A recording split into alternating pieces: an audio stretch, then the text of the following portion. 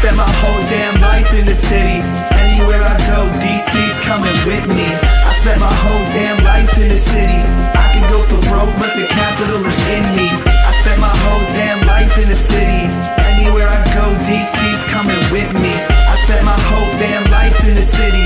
I can go for broke, but the capital is in me.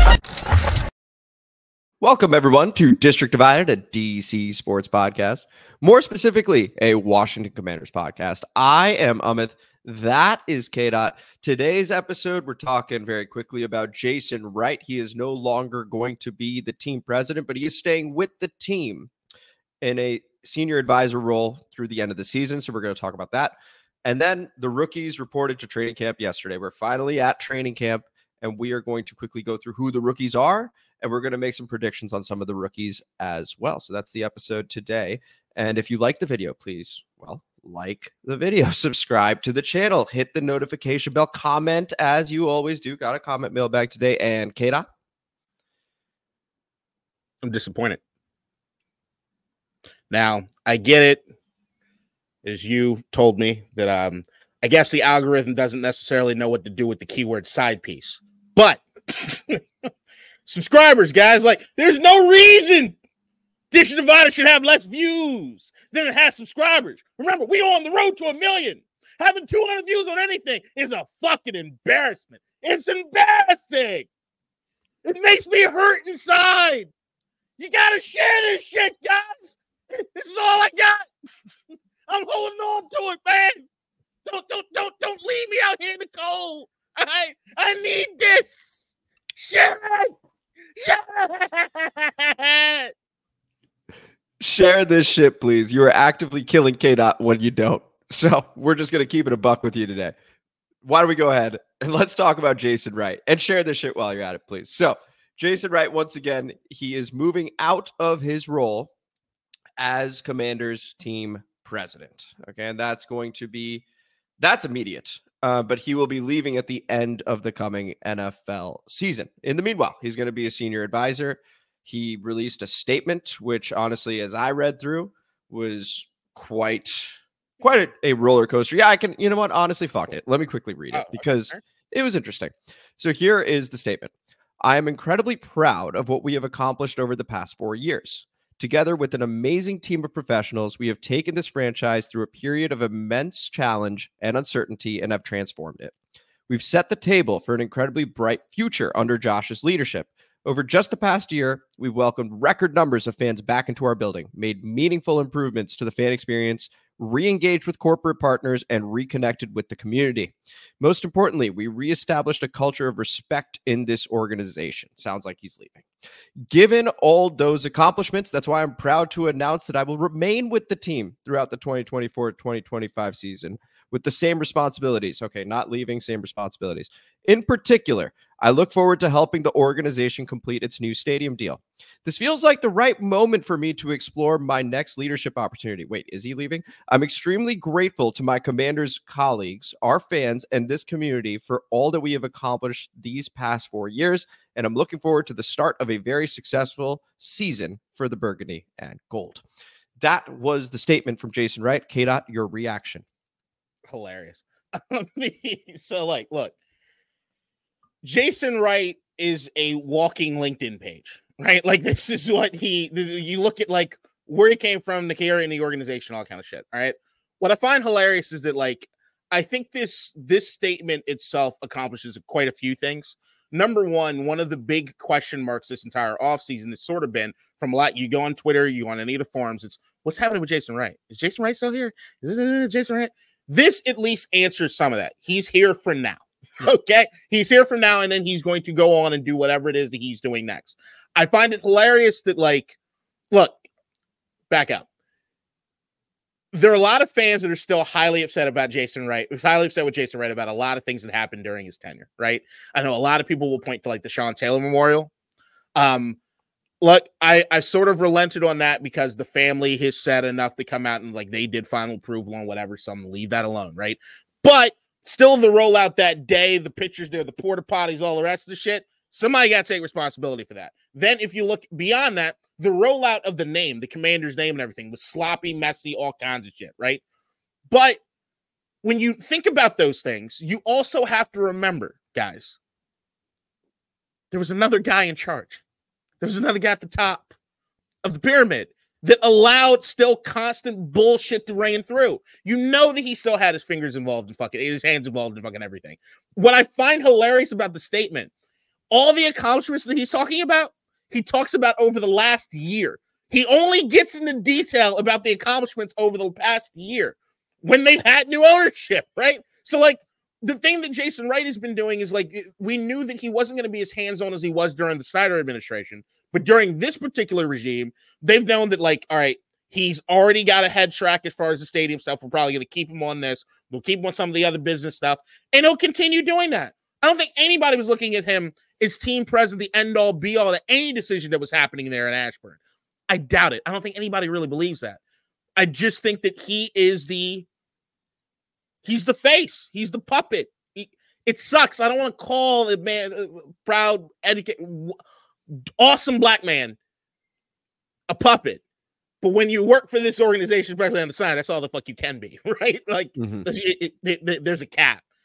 And I think that he's done the best that he could do under this new regime. And like, as you said, you can look through all those things. I think that this t- franchise is in a much brighter situation than it was when he first got here. And I'm willing to bet that he has something to do with that. So I'm gonna give him his kudos and good luck going to manage whatever the fuck it is he wants to go manage in a year from now.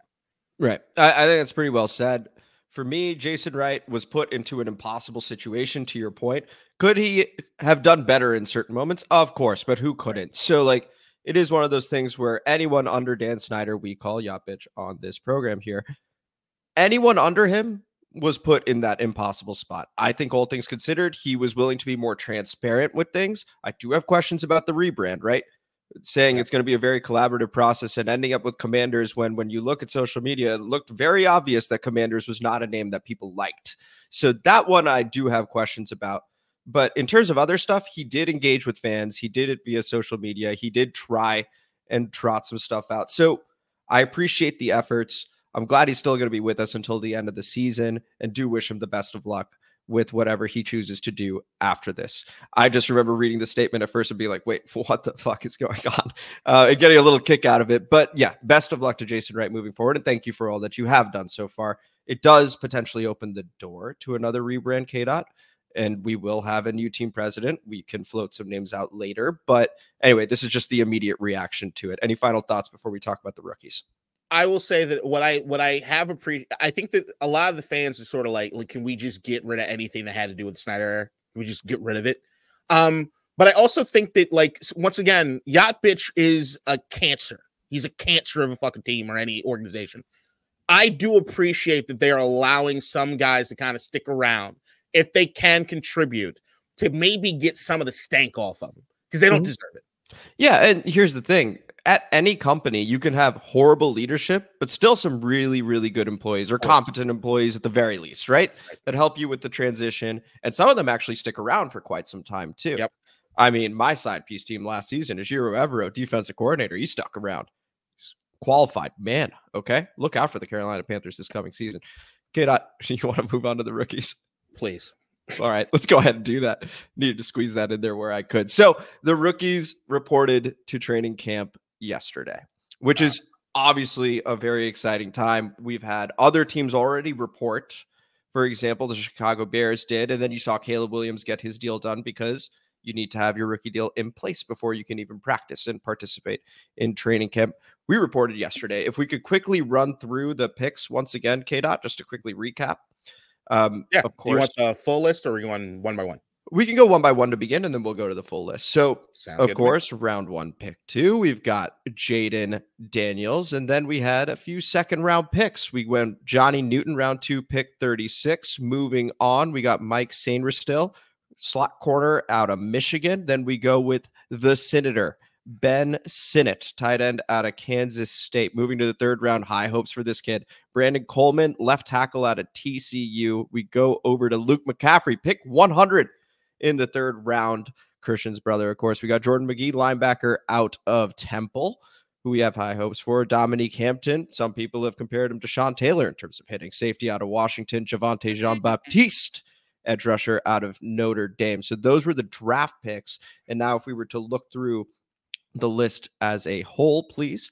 That you go. That is going to be your draft class once again. It's Jayden, Johnny, Mike, Ben, Brandon, Luke, Jordan, Dominique, Javontae, Jean Baptiste. Those are the draft picks. Um, and then actually, K Dot, if we can just go ahead, I know you've got the list of the other guys as well. This will include the undrafted free agents. Thank you so much for putting Two-parter. this together. Two parter. Here we go. Sam Hartman, Austin Jones, AJ Woods, Norell Pollard, Tyler Owens, Chigozie Anusiem, corner out of Colorado State. We got Michael Wiley, Bo Bauer, Ben Nikkel, Marcus Rosemy, Jacksaint, and David. Oh my gosh, David Nwaugu. I, I greatly Racist! for that. Oh my goodness, I was not prepared. You know what's funny is I have a spreadsheet.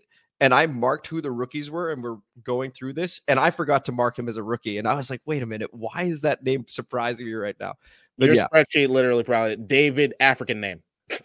You- you- David, no can do. No, no. Listen, I was, I apologize. I apologize. I'll get that right for the next episode. Um, but we'll anyway, make the team. hey, listen, we keep talking about how weak the O line is. Maybe he does. Maybe he does. Maybe he turns Make up. team. We'll learn it. But anyway, those, those are the rookies. Those are the rookies. We ended on a hell of a note there. Um, but K dot, the, the question to you is if you could name one or two that you're looking out for this coming training camp that you think could stand out, that you think will stand out, and you think maybe is a dark horse to be able to stand out. Who, who are some names you're looking at? yeah, JJ McCarthy. So like in Minnesota, the camp. This man will not let it go, by the way. Go ahead. I can't. All right. So yeah, I mean, uh, of course, Hasn't signed his rookie deal. Just adds up. Jade Daniels. We all know what we're looking for there, right? Like, I, a- as a matter of fact, if we're looking at anything as far as the rookies, I'm hoping I see him struggle a bit more so we can see more of somebody else. Okay, I want to see more Mariota. That's what I want to see in training camp. With the uh, and maybe maybe some of my guy. Maybe I need to see some of this.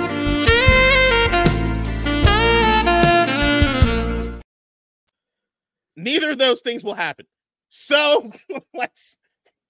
So all right, but I'm not going to pick Jayden. I think Jayden's a boring pick. Yeah, I um, agree. I think everybody knows probably where I'm going because it's my favorite guy that we drafted, and it's a dude that I was really, really high on throughout every one of the draft things, which is Ben Sinnott. The Senate.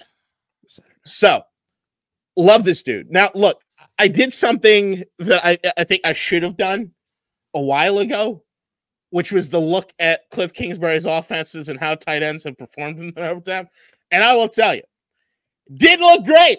I think it took me to like year three before I found a tight end that quite cracked the 400 yard mark. But also, if you're looking from a talent standpoint, I don't think that the guys that they had there in Arizona from a tight end standpoint until they got Zach Ertz years after is comparable to what I think the talent is that we have here on the roster. Zach Ertz, once again, that guy, that guy gets named immediately, right? But Mhm. I think the the thing with me as far as Sinnott is like I'm really high on him as far as that being the the the the, the jack all trades sort of guy. Um, I just want to see and want to hear that he's doing or pulling off plays. I want to hear about playmaking abilities. You look at the tight end position here in Washington and you see about Zach Ertz, but you know you have a John Bates, you know you have an Armani Rogers. It's a crowded room.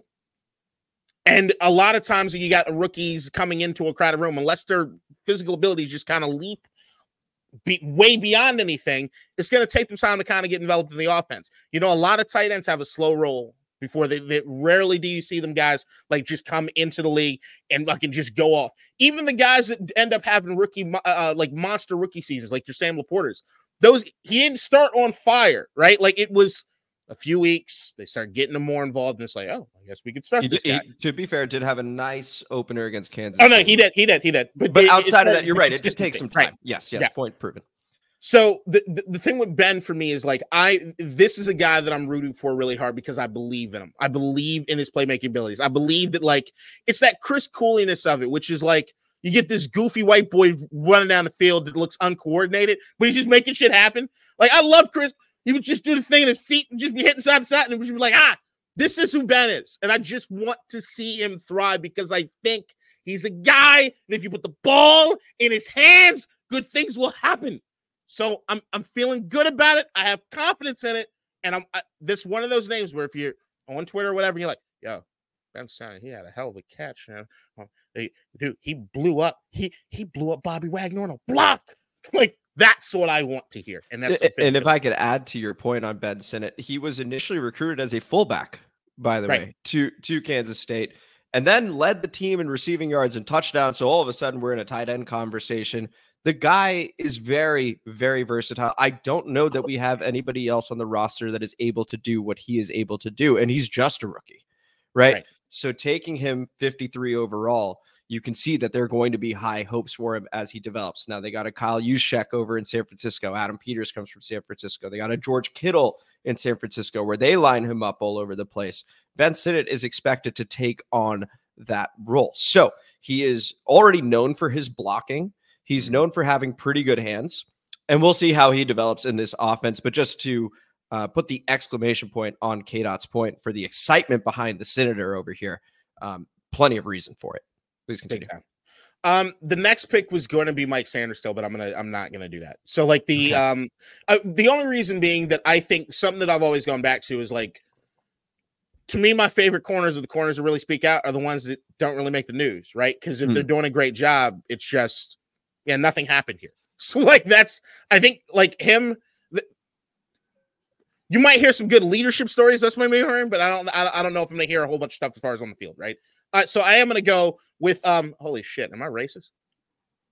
The other white boy, Luke McCaffrey. so like, um, now if this Brandon Aiyuk shit could just die, not him. The story connected to Washington could just fucking disappear. The big thing for me with Jayden Daniels this entire offseason has been about the connections he's had with Luke McCaffrey, right? So, like, those are the guys that are showing up every day earlier than anybody else. Those are the guys that have been working out away from the team together constantly, right? They've already sort of built that connection. And I think Luke is one of those dudes that should, if you're a sure handed guy, which is what he seems to be, even being new to the position overall, right? To be that sure handed dude means to me is something that, like, in training camp, that's stuff that leaps off the page a bit. Mhm. That's the stuff that, like, when you're watching training camp, you're like, dude, it's automatic. Like when, I hear, I, I, I'm expecting those words, dude. Jayden Luke is automatic. Like that's that's something that'll get me like really, really, really, really fired up.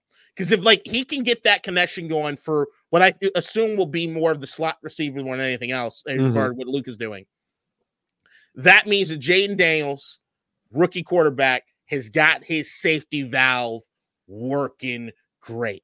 So he could take his shots to do whatever, but it, it means that like at any given point in time, if the going gets tough, going gets rough, he can look for Luke. He look for that white boy, and and nail. him. That's uh, nail. him. That, that that that's what I'm. I the just floor is think yours. you do it on the floor. Okay, I'll take over. Uh, just real quick, uh, Luke McCaffrey. Just a couple notes on him.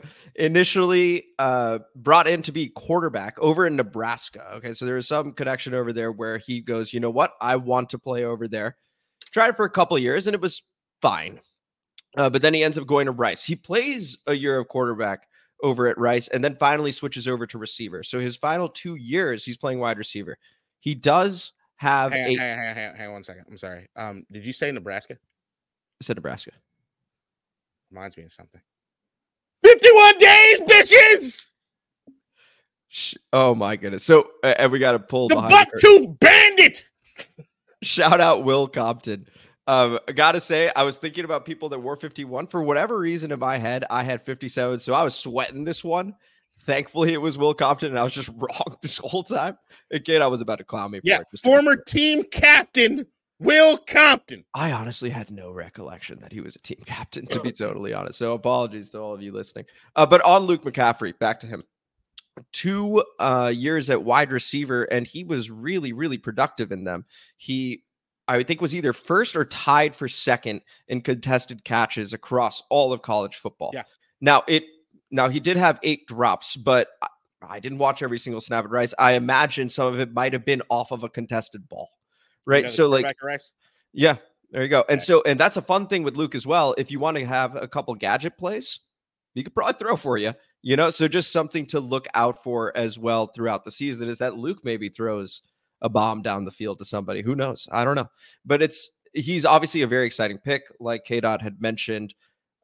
Jayden and Luke have been getting in at, I believe the time is 545, at least beforehand. That's Yeah. what they were doing. They're getting along very well from the sounds of it. And that's exactly what you want. It also leads to typically your camp battle at the same position. I'm very, very excited for when offense plays defense. And we got Luke McCaffrey against my first guy, who's going to be Mike Sainristil, because he's supposed to be the slot corner, right? So if Yeah, they're playing man to man, you got these two going against each other. That's going to be a lot of fun to watch. Here's why. So, similar to Luke McCaffrey, Mike Sainristil also switched positions. And he played two years of corner over at Michigan. Played a bit in high school as well, but played over at Michigan. And boy, was he good from the jump. I mean, so initially he's honorable all mention for the Big Ten his junior year. Ends up playing very, very well, and then takes a leap. And he's a captain twice, by the way. I mean, the guy is his senior year, K dot, 12 pass breakups, six interceptions, two forced fumbles, and two sacks. Yeah.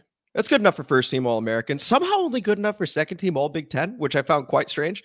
But first team All American, second team All Big Ten. But the guy was stellar at corner. A couple pick sixes as well. A captain for one year, excuse me, not the two. But everyone voted him team MVP for that number one defense that they had under Jesse Minter over there at Michigan. The guy can play. He's a little undersized, which I think scared people off of draft boards. We were running to the podium with that pick. I'm so excited to see Mike Sainristil against Luke McCaffrey come camp time. I think it's going to be great. Oh no, no doubt. It's uh, my my hope in this regard is Luke McCaffrey like 100 percent catch percentage. Yeah. like no yak. like, Yeah, like, Mike is just no in there. Mike's Yeah, just on him. And it's like, but it's like the Jayden and Luke connection works. It's just against Mike, you ain't getting nothing. You ain't getting nothing big.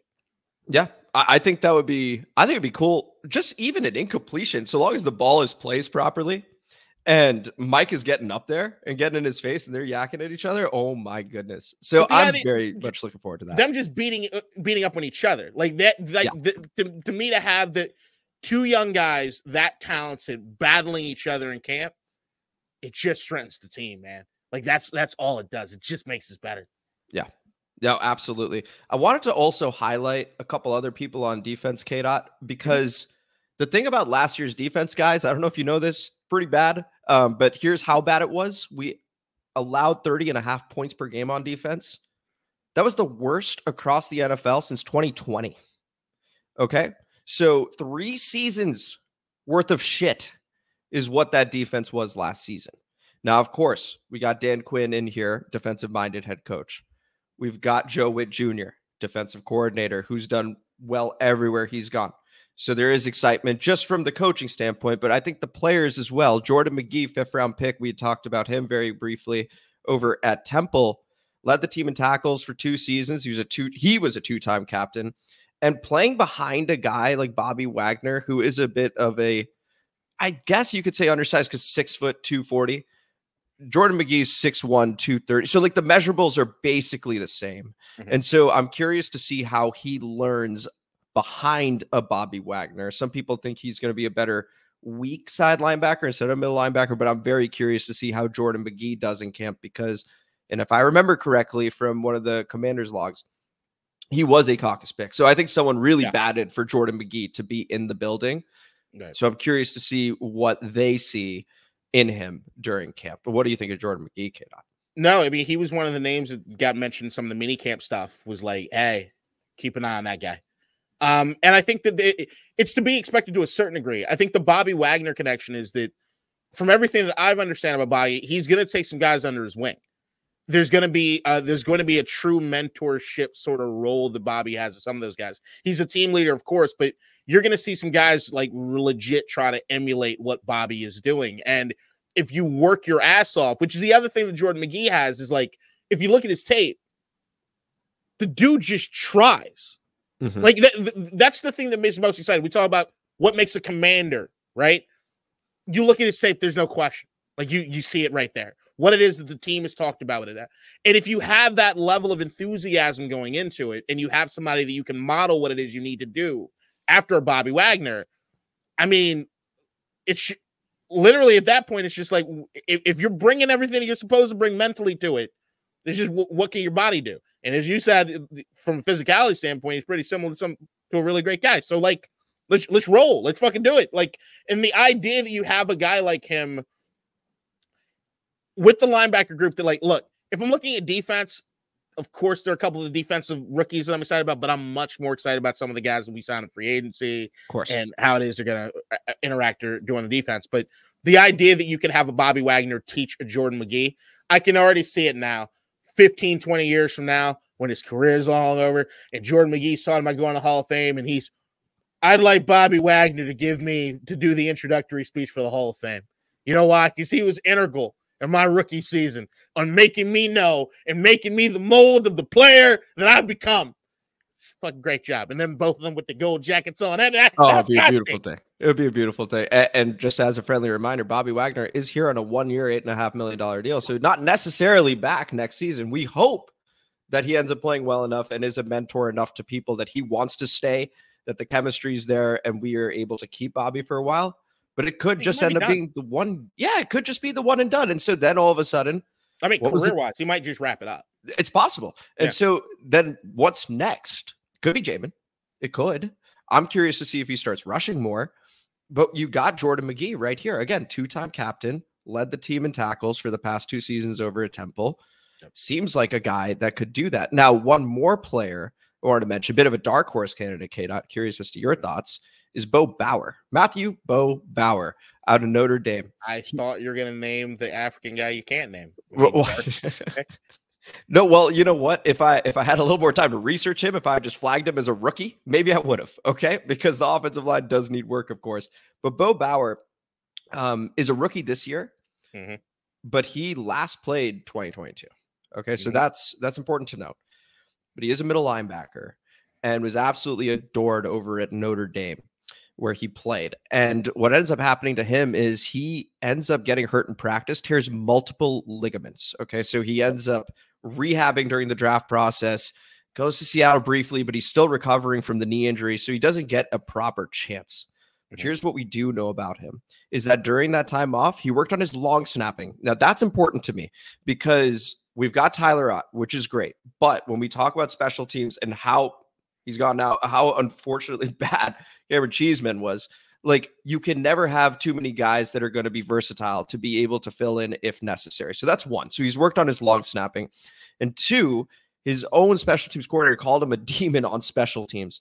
And apparently, this guy is a game changer as a gunner, as somebody that comes down and can make a big hit on a kickoff, on a punt return, whatever. I think this guy is probably so. I'm fascinated by his story, K. Dot. So I think that someone this hungry, this determined to be able to make the team, willing to long snap and learn that, excellent on special teams, and also is able to play middle linebacker. Very curious to see how he looks. That drive and determination, they all have it, of course. But with that in mind, I haven't played in a year. I really need to hit the ground running. I'm curious to see what he looks like.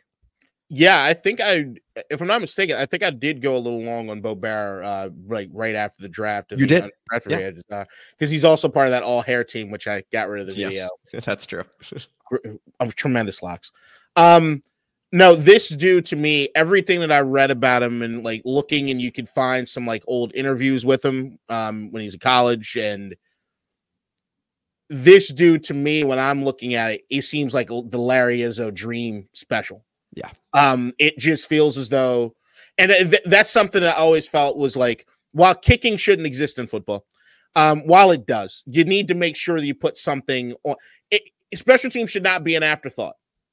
If you look at the franchise that really give a shit, and the ones that sustain success, that's something that it's something that kind of leaps off. You can tell that they have guys that they give a shit. You look at those New England Patriots teams, like the Matthew Slaters and the Larry Izzos and the all the guys they had to go through and was like, yeah, this is what he's here for.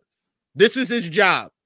Like, uh, uh, yeah, if somebody if there's an injury that happens somewhere else and we need to slot him in, cool. But he's here for this responsibility, and we give a shit about it. And this to me, Bo Bauer feels like one of those dudes. Um, he he's a dude that's just gonna work his ass off. Um, and I, I love that. I love the dudes, the on the bubble guys, just like I face adversity my entire time and I'm going to do everything in my power to do it to, to get to where I need to be. And the pressure's kind of off, right? Like, I mean, uh, the, the pressure as far as keeping his career going might be on, but like the pressure to be a starting linebacker for the fucking Commanders is not necessarily on the table, right? But it's Right. like, yeah, it's a dude. I'm telling you, if you if you get an opportunity to start looking at some of his videos and stuff, or or looking at interviews for him, you'll you'll see why he's a dude you should root for. Yeah, eh, Even though actually no, fuck Notre Dame. fair enough, and I agree with that. There are a lot of there are actually a lot of really cool stories as I was reading about these rookies, and Yeah. it, it's fascinating. A lot of these stories, Bo's in particular, to me, just because he is trying to make it after what sounded like an absolutely brutal knee injury. So curious to see how he comes back. Go ahead. Shout out to uh I always thought this was a mistake. When Nick Sundberg got hurt, Mm. and we signed Andrew East. Do you remember Andrew East? I don't remember Andrew East. Andrew East was the dude that came in. Um, he's probably more well known as Shawn Johnson's husband, but I loved when he was here. It's another dude that I rooted for like some bitch. They should have never cut him. They went to Cheeseman and all went to shit. It should have been Andrew East and Sean Johnson as like the first the the the the the, the royal couple of the commanders. I would have loved that shit. Just saying, it was a missed opportunity. Okay, missed opportunity there. Well, let's talk about some of the predictions, K. Dot, we have for these rookies. So I'm going to go ahead and hand the floor over to you. There you go, and um, and see what you think for. And you can pick any of the rookies. You can pick the ones we earmarked, or you can just go ahead and pick any of them because I'm going to pick one we didn't. So go ahead. All right, so I think looking at the numbers as far as I'm, I'm going to stick with the guys that I picked. Okay. Um, because offense numbers. Here we go. So uh, Benson. Now I will 100% say that looking at the numbers of the Kliff Kingsbury uh, tight ends early on did not give me a whole lot of confidence. The numbers are going to scream out, but I also think that Kliff Kingsbury's offense is going to look quite different than what it did look like in Arizona. There are a lot of other coaches here. You talk about your Anthony Lynn's, things like that. Um, but I also think because of Ben Sinnott and the fact that he is that like um, Swiss Army knife, they're not necessarily looking for him to have the crazy numbers as much as he's contributing across all factors when it comes to the team.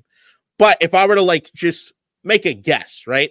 I think Ben Sinnott might finish the year with something that's better than the most of the uh, rookies or the tight ends that they've had in Arizona. If he can get to about 400 yards, let's say 450, That's a And, like, solid year, man. 450, and let's say five touchdowns. Oof, that's an amazing year. And I think that that will be that. I think those numbers come later, and Ben Sinnott ends up being the top five tight end in the fucking league by year two. That's my prediction on Saturday, motherfuckers.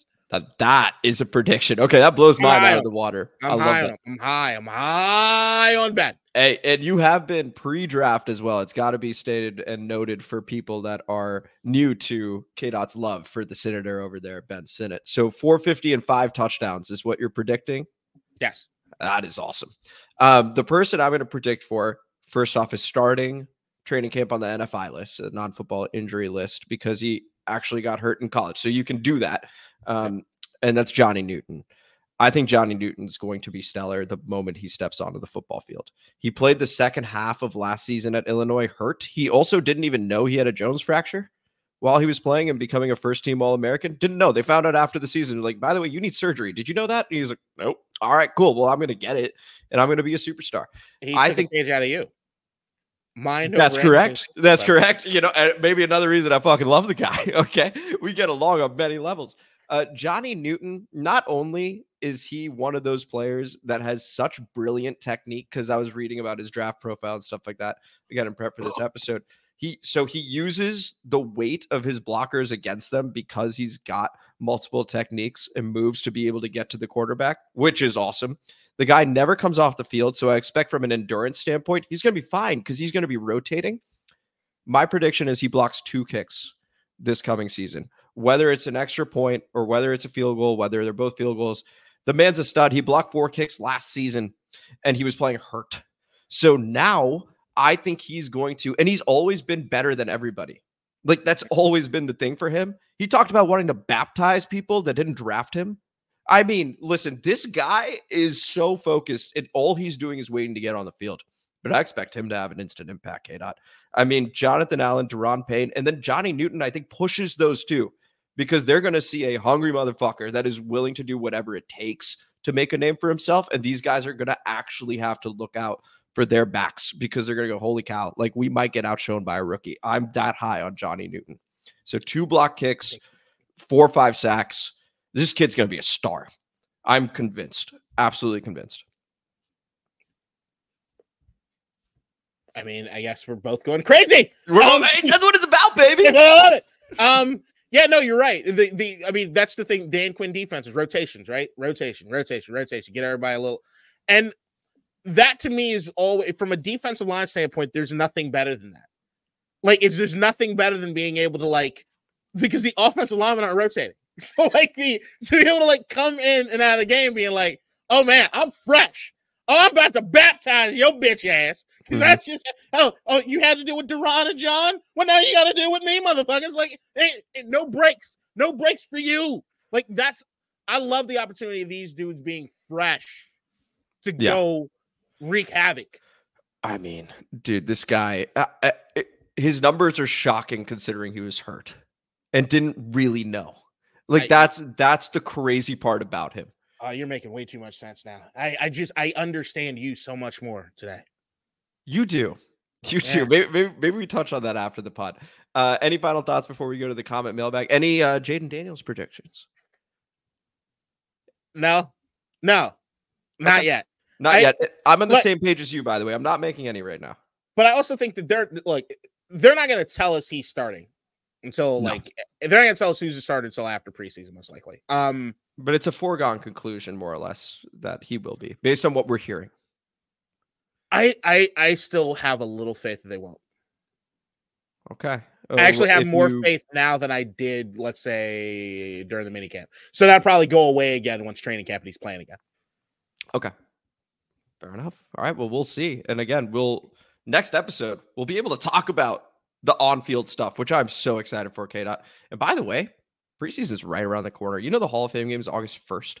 Yeah, I'm already running promotions. Yeah, yeah, that's true. You probably are. Oh my god. All right, I let's was go ahead. fucking soccer's over. Get to the comment mailbag. Honestly, international soccer not as good as club soccer, obviously. So, but that's that's gonna whoosh right over you. So don't worry about that. Let's go to the comment mailbag, uh, where we have seven comments. And once again, that's my bad for putting a side piece in the title over there because I think we probably would have gotten more views if um if I'd used like you know the Panthers, the Cardinals, the Falcons, the Chargers. If I throw, I'm I'm just annoyed with whatever you said about soccer just now. I don't know why, but it annoyed me. So I'm using this. Club soccer is better than international soccer. So you're saying like an inferior version of the game is better than the game? No, the club soccer is not the inferior version. The international soccer is the more popular one because it represents your country's represented and people will like And take that's the whole time thing? off and stuff like that. What's No. club soccer? Club soccer is just the teams, like the, Yeah, it's like Arsenal, it's like Manchester City, it's like Bayern Munich, it's like those teams. All right, all right, you know, uh, fuck it. Comment mailbag time, motherfuckers. District divided, ain't got time for no suckers. Spread the word, get in line. OGs and new G's, it's your time. And spread the gospel, cause this shit is divine. Yeah. I don't know why I you- brought that shit up. Just made me angry. It was your fault. No, it's my fault. I'm not denying it's my fault. It's Okay. my fault. Shout out. You gotta egg it on, but it's my fault. Go to the comment mailbag where we go to honestly at this point, I think just a huge fan of yours, K Dot. Allison New G Lombard. Shout out. Yeah. Wit Whiz all the way. Love your Oh, references, K Dot. no. Ah, Your reaction besides that. no. Look, all right, fuck it. All right. God damn it. Um, look, I will uh, start off the Philadelphia cheesesteak, the traditional Philadelphia cheesesteak with is with which is Whiz, is an inferior sandwich to what I consider to be the steak and cheese. Now, if you're a Washingtonian, you know places like Trios or you get like a good shaved ribeye with provolone and your grilled onions and your grilled mushrooms. It's a superior sandwich. So leave it to Philadelphia to fuck up a good thing. All right. Well, then there we go. That's the reaction from K Dot. Shout out Allison G Lombard, who I believe that is the only comment. Yeah, that is the that is the only comment from Allison this week. Provolone, mushrooms, onions, We move over to and an Amoroso roll. I was waiting for that part. We move over to Tony. Shout Tony. out Tony OG. OMG. Panthers coach Dave Canales is a QB whisperer. See, see, he, Tony understands a little bit. There is more though. I'm born and raised in PG County. My wife is from Beemore, and so is my side piece. When I first read that, I got I got a fun little kick out of that. When Washington misses the playoffs, I pull for the Ravens. They're in the AFC. There's only one conflict of interest during a rare 1v1 when the two teams play against each other. So Tony's side piece. Now, granted, they don't qualify because they had way more than seven wins last season. But his second team, when the Commanders are probably sucking, is going to be the Baltimore Ravens. He probably has a lot of fun watching Lamar in that defense as well, K. Dot. As a Baltimore resident, I will say this city loves their football team. And I will 100% say going to games at M&T Bank Stadium is a lot better than going to games. Oh, it's a Like, blast. It is it's so fun. fun. Um, I will never truly root for the Ravens just because I feel that rivalry as far as being as close as we are. Um, but I like I think I, I think I said at least on the pod the other day, I am an Orioles fan now. Um Yeah, you I did. felt the need to pick at least one team in the city. that I've you seen? Did you see their draft picks? The Orioles draft picks. They all look the same. It's the same white guy. We got a type. Move over to Slim Sleazy. Shout out Slim Sleazy. 5650 is the timestamp. The Warriors is a badass movie and will be a great name for the team. So another point for Kate out there. Not only should we use three bottle chants, we should use a silhouette of Cochise as the logo, afro and feathers. Double exclamation point there. Kate, your reaction to that? Yeah. Yep. I. I have a piece of glass, but I, it, it wasn't making a sound. You were trying to. Yeah. I was trying. Uh, Yeah. That's right. Where's HTTR Redskins? Where the fuck you at? You had homework, nigga. I'm sorry.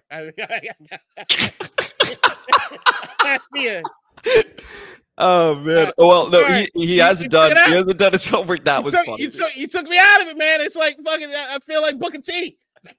Got the fucking rest of the promo. I just we we do You need, had homework, nigga. we do need the two second reaction of us both going, oh, there- Yeah, there- let it slip. But here's the thing: I felt uncomfortable letting it slip because I don't think I've ever said that word on the You have- podcast. But now you I'm reflecting. I am who the fuck I am. You had Yes. homework, nigga. That's all I've ever asked you to do, my guy. That's all I've ever asked you to do. Is HTTR Redskins does owe us. I don't see it here. I don't see it here, but we do need the answers to those questions. Slim Sleazy with the comment on the last one. Shout out Slim Sleazy for getting Kate on in his element, huh? Uh, we go over I, I to. bet I look just like Booker T in that goddamn. I'm looking forward to the rewatch. I'm looking forward to the rewatch of this. I was Go- scared I let it slip. at the, at the RT boss. Shout out at the RT boss. Comments mailbag would love to see you collab with other creators like Louis T. Um, who is another very good creator. Man, we really need to get on it. I need to follow up with Nathan actually. I think this episode was the one we were supposed to do together. and I just never followed up. So Nathan, if you're watching, my apologies. And we do need to. I've talked to Big Doug a little bit. I think he's down. Louis T, I've not spoken to yet, but I'm sure he'd be down. Um, and we needed to talk to Rio. Rio Robinson, I think would be a lot of fun. All sorts of creators. There are tons of creators that we can collab with. George Carmi as well. Like lots of guys that I think would be really fun to collab with. K Dot. We're better than all of you. Um, the no, but I'm sure we're gonna do another training camp episode because I actually want to expand into the things I'm more excited about in training camp than some of these fucking rookies. Um, and Yeah, I think that'd we'll be the great, like one. Nathan or somebody to come on and we can we get the hype thing going. absolutely. Would very much look forward to that. Do you imagine. Nathan's reaction to me making the word slip? Like, do you imagine how uncomfortable he would be? To be fair, he is in our house. So yeah, I mean, just- yeah, that would be Guys, I'm not sure the sponsors want me here. I'm gonna have no That's true. We- that would be a fun reaction, actually. Uh, especially, and I once again got to commend you. I thought you did an awesome job on rep the district. Now knowing that that's something that That's could have happened. inside. That's what's that's what's y'all saw authentic me getting getting very afraid in real time to show it to you. It was beautiful. Beautiful moment. We go over to Earl Bruce. Shout out Earl Bruce, and, and shout out again the RT boss for the uh, idea of collaborating. That's on me to just reach out to people because you're right. I think it would be awesome as well. Um, shout out Earl Bruce, another OG over here. Congrats on reaching your first thousand subs, and we will continue to as you guys share this shit, of course.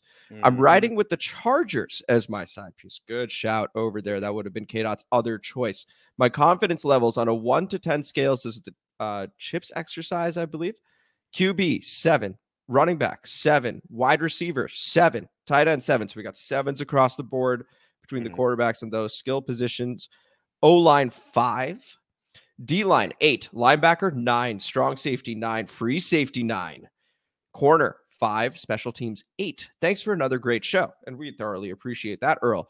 Now, I am assessing the confidence levels over here. K. Dot, do you have an initial reaction to it as I rack my brain on how I feel about him? Nope, because I fucked it up in my head. I thought he was doing a confidence rating for the Chargers, so I'm lost. It's pop. No, no, this is us.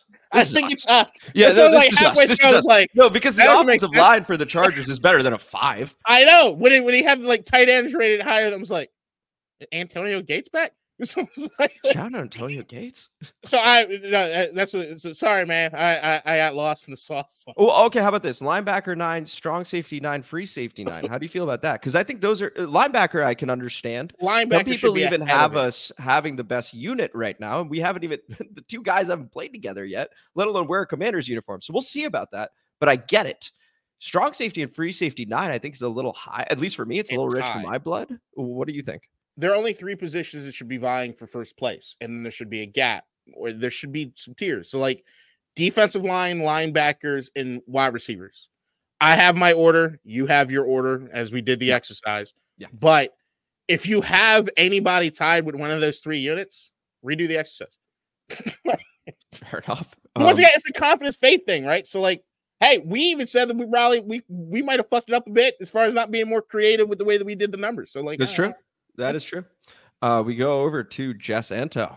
Shout out Jess Anto. I'll be reading the comment this week.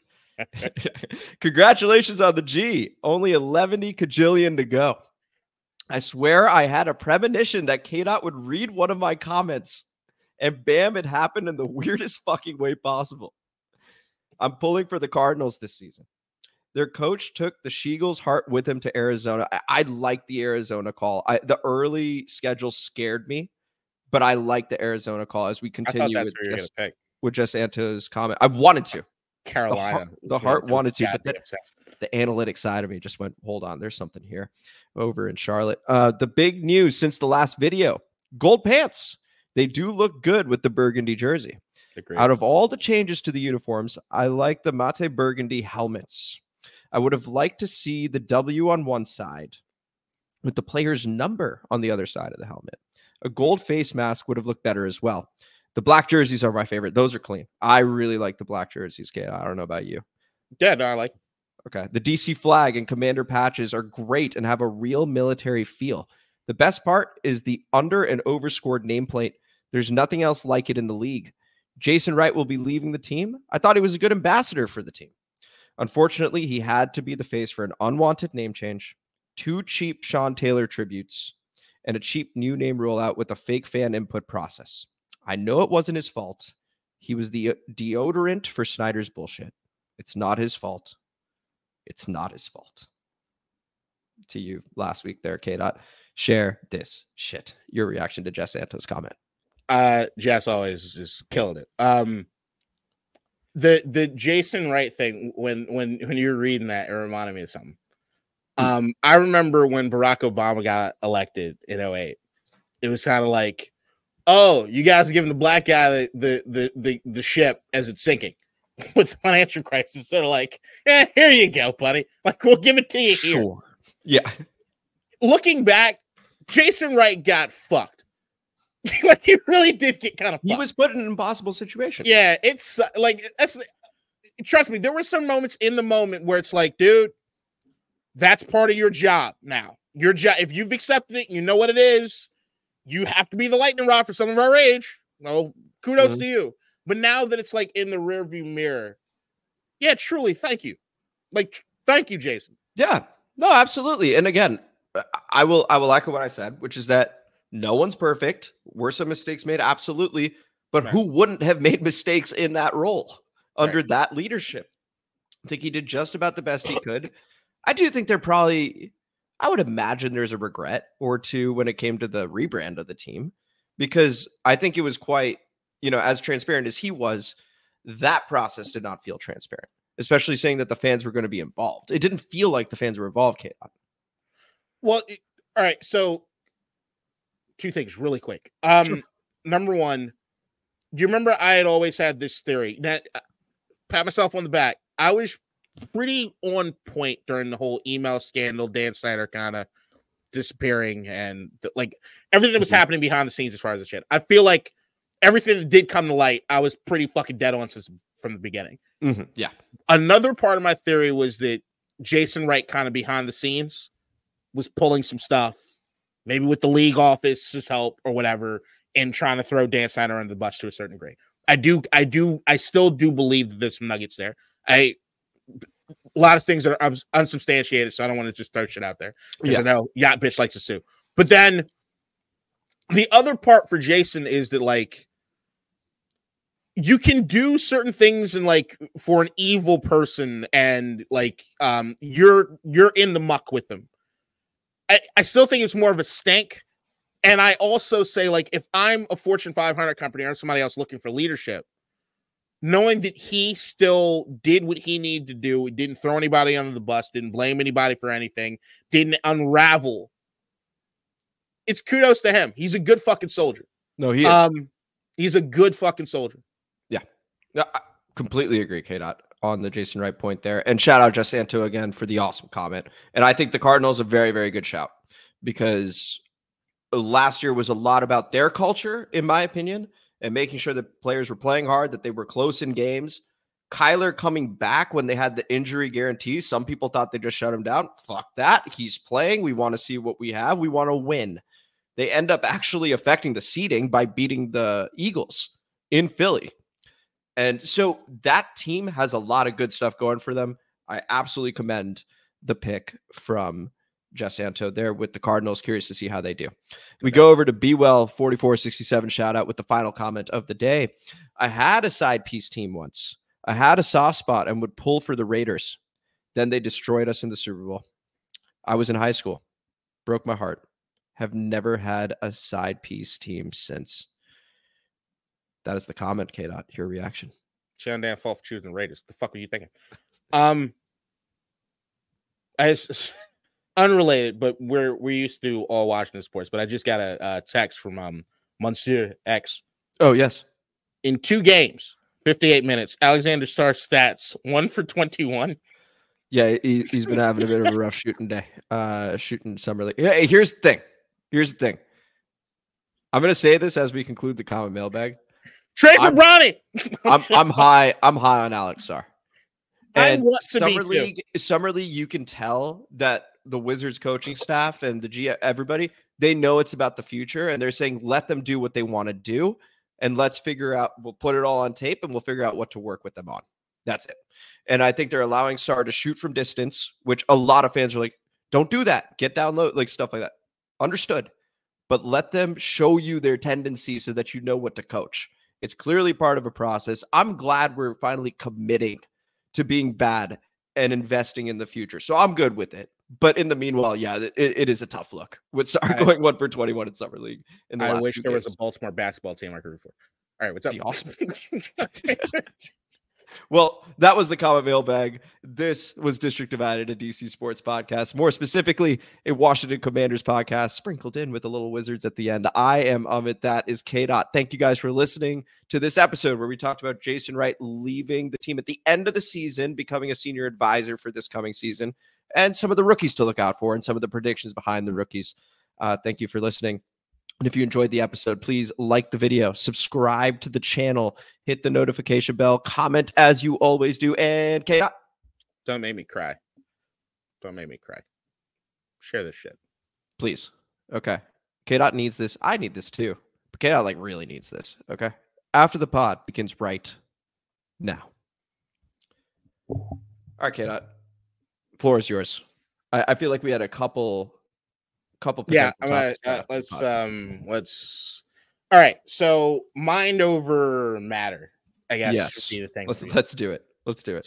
So please explain to the listening audience what you told me about like um your theory about having things to do compared to Oh, okay, okay, okay. Yeah, yeah, I can do that. All right. So, so before this episode, K Dot and I were talking. We were like, "Hey, how are you doing?" We, we check in on each other before the episode and uh, and warm up a little bit. And so, I was telling him that I've had this cough that just, got well, curtain all the way back. I had a root canal last Monday, and then I got sick on Tuesday. It was like a, it was a genuine sickness to be clear. Like it was some sort of infection for sure.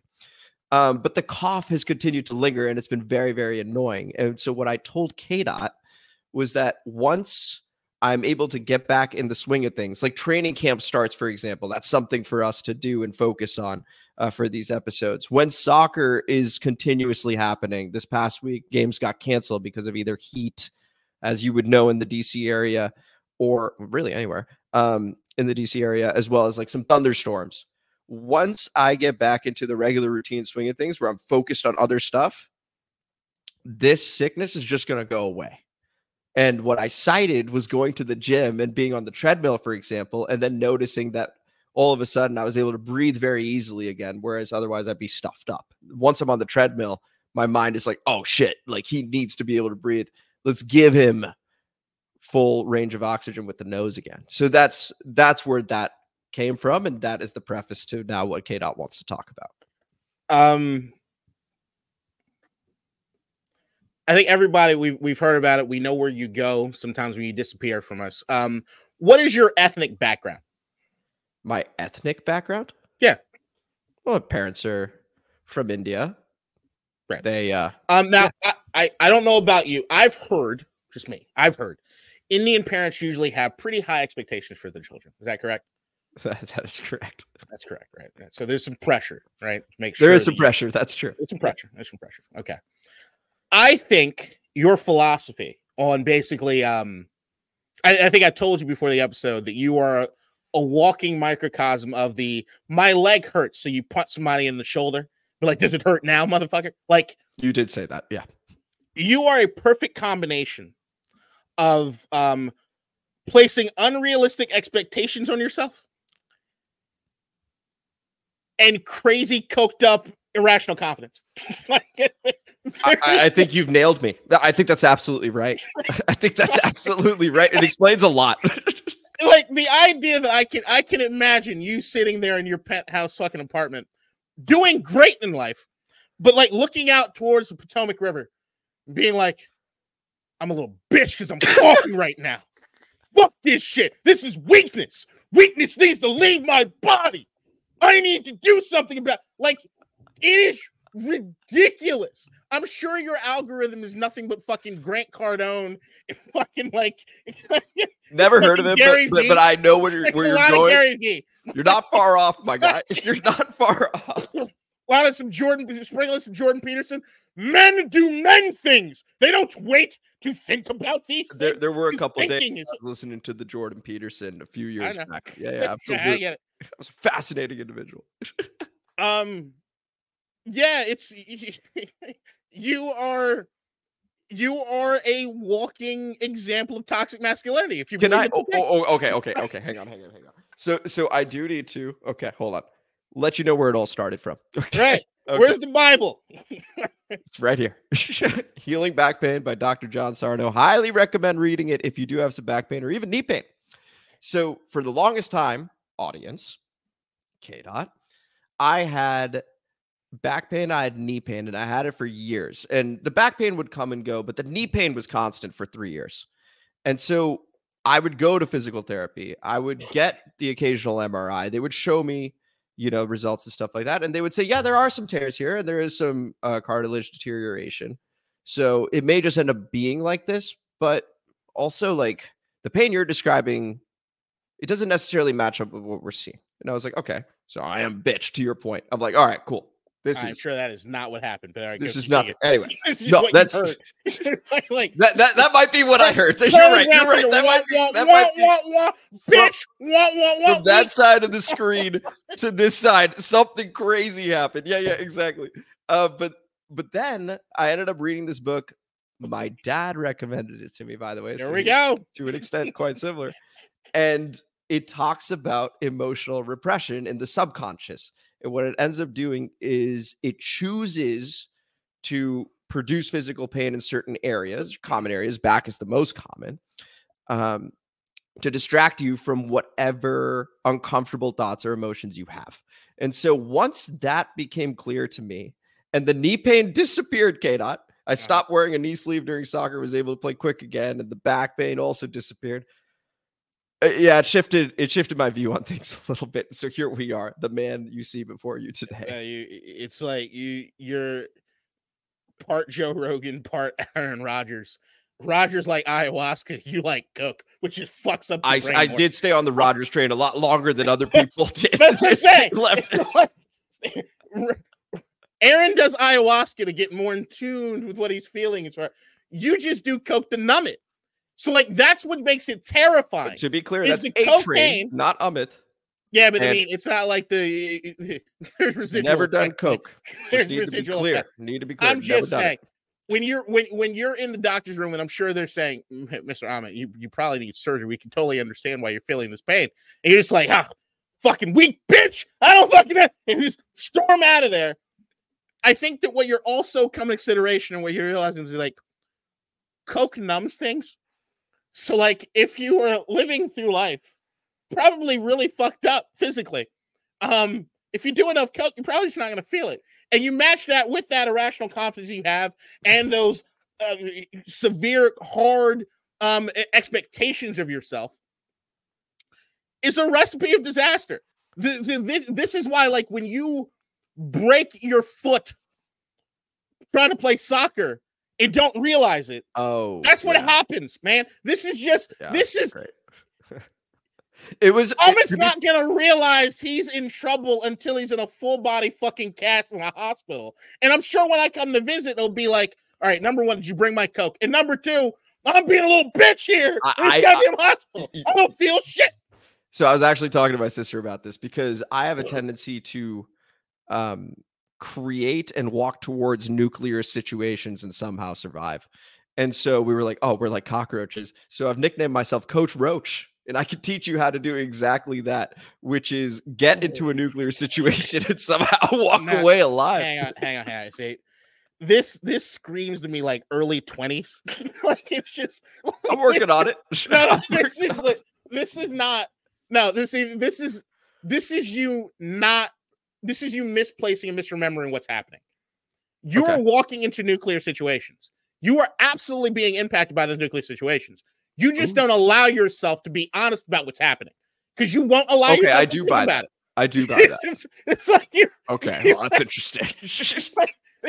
there are absolutely ramifications of doing everything you're doing. You just don't allow yourself to think about it. Yeah, keep running away, Amit. like you, you think, got- I think you might be right. Okay, like- okay. like I'm gonna there's have- this new. Everybody nowadays, there's this new thing about like how um Joe Rogan had it on his podcast because I still listen to Joe Rogan. But the um, I've only listened to him once, by the way. uh, he, uh, literally in the early days of Facebook, when you, you could like do a long bio like quotes and shit. Yeah. on there, if there's an archive, Joe Rogan is my hero was something I wrote a long time ago. He helped me with a You lot of stuff. First podcasters, right? He's he was early. He's uh, he was early Okay. on, but like that was Okay. back during like the Mark. Anyway, Maron sorry, era. I, I not want to derail. What were you saying? I know, I know. You you love to run. So like the, but there's an idea that like I so I'm a believer in therapy. I, I do therapy. Yeah.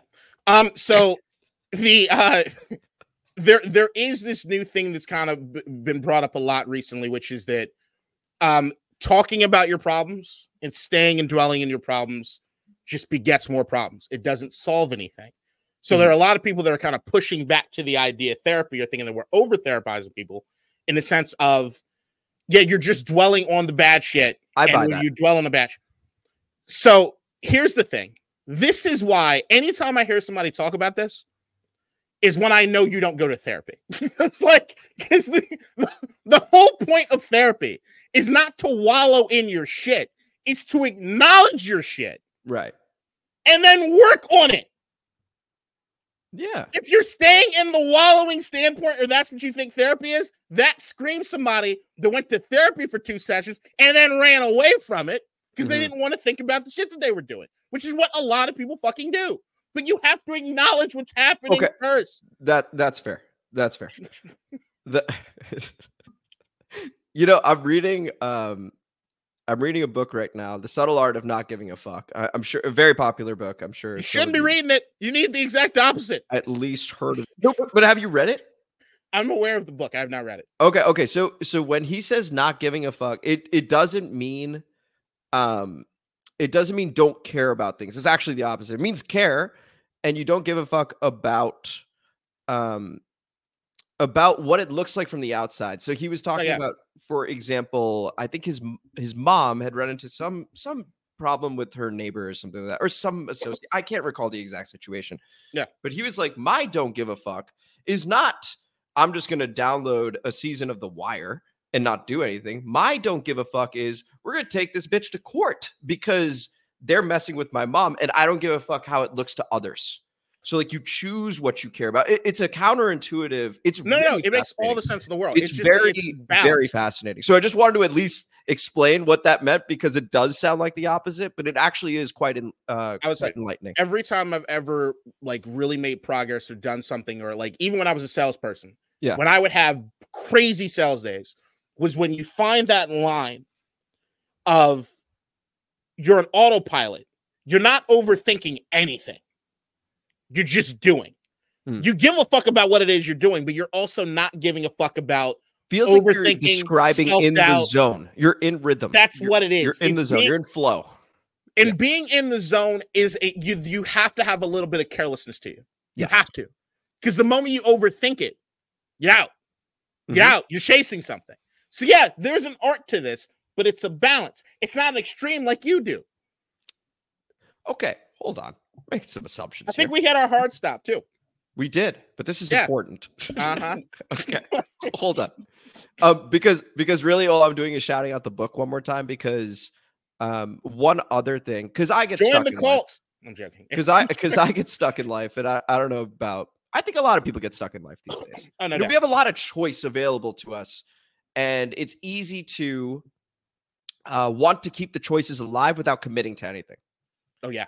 Right? So so like I, that was quite the journaling session, by the way, last week when I wasn't feeling well.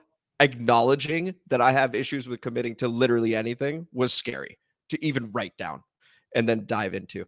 But um, one of the questions that he says we often ask is, What do you want out of life? And he's like, Look, we all essentially want the same thing. It's just slightly different. We want to have made a lot of money. We want to be able to have the, you know, IG model fucking partner or just someone that looks really good and like, you know, all, all this stuff. He's like, It's easy to say that stuff. But the better question is, what pain or struggle are you willing to go through in your life? Period. Not not in terms of what you want, but what pain or struggle are you willing to go through? Talking about pain as a constant, referring to the Buddha and what he discovered, right? And so if you know pain is a constant, what are you willing to choose? And from that, that can better inform what you do with your life. Okay, it's a fun book, man. It's it's a fun counterintuitive flip flip the question. It's cool. That's all I got. People, deal with your issues. Yes, Don't run. I agree. Feel and acknowledge your pain and work on helping and treating it. It's true. You guys need to do that. Take it from me. Okay. It's Don't important. listen to anything he said. But what if I said the same thing you did? Don't listen to me. it's different.